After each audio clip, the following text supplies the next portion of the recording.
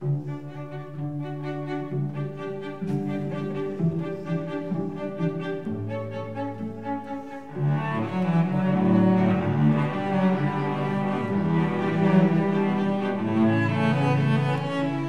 du av typen som aldri blir brun, og som aldri heller prøver noe særlig på å bli det? Blir du ansett som en kjedelig kujon fordi du stort sett ikke gidder? Har du problemer med å omgås overdreven positive folk? Du er ikke aleine, vi er mange som har det sånn.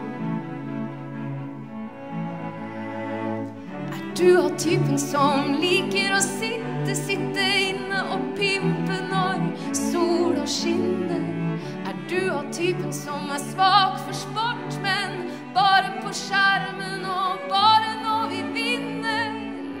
har du problemer. Ifølge Peanøtthjerneforbundet. Men du er ikke aleine, vi er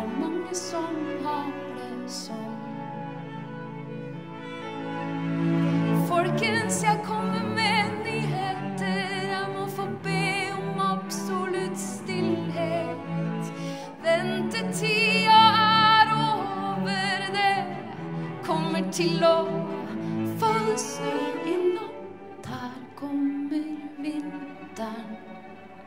Her kommer den kalde, fine tida. Her kommer vinteren.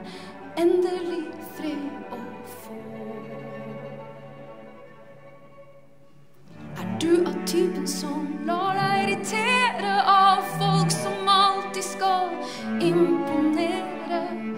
du et kjøleskap? Har du en TV? Ja, da har